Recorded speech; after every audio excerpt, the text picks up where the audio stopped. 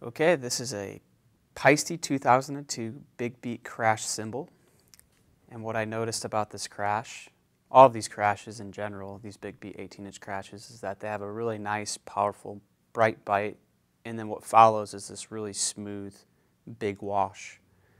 And there's no overtones, very smooth, very musical, yet it maintains its, uh, its, its power and clarity. You can get this exact crash only at myCymbal.com.